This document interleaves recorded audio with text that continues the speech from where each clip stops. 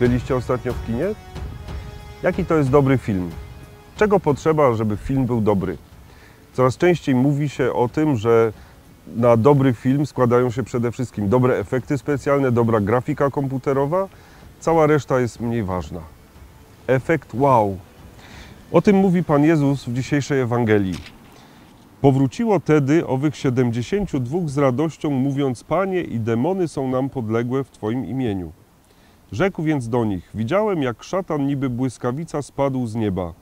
Oto dałem wam moc, abyście deptali po wężach i skorpionach i po wszelkiej potędze nieprzyjacielskiej, a nic wam nie zaszkodzi.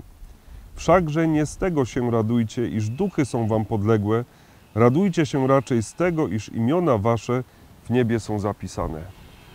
72 uczniów Jezusa wraca do Niego i zdają sprawozdanie z tego, jak wypędzali demony w Jego imieniu, jak dokonywali cudów w Jego imieniu. I mówią, Panie Jezu, jest wspaniale, wow, jakże cudowna jest wiara, jak cudowne jest życie z Tobą.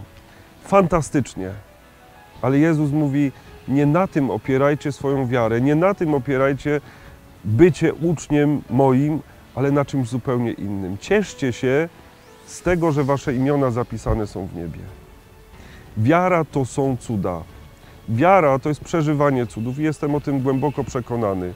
I każdy z nas mógłby wskazać w swoim życiu takie momenty, kiedy doświadczaliśmy cudów.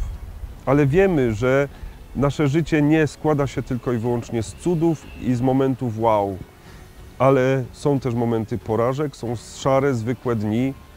I co wtedy? Czy w takim razie wtedy nasza wiara nie działa? Wiara to nie jest film z kinowego multiplexu z super efektami specjalnymi, z super grafiką komputerową. Ja powiedziałbym, że wiara i życie chrześcijanina to raczej film z małego studyjnego kina. Możecie powiedzieć niszowy film. I możecie też powiedzieć, na takie filmy chodzi niewielu, ale one mają pewien szczególny smak, mają szczególne przesłanie i tym właśnie jest chrześcijaństwo. Może w dzisiejszych czasach z tego powodu nie jest aż tak docierające do tak wielu osób. Może staje się rzeczywiście niszowym kinem, w cudzysłowie mówiąc.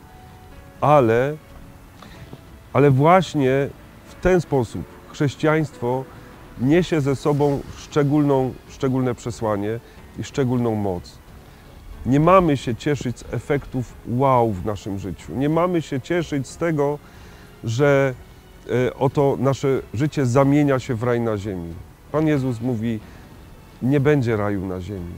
Nie będzie tak, że waszą mocą stworzycie tutaj jakiś niesamowity, kolorowy świat.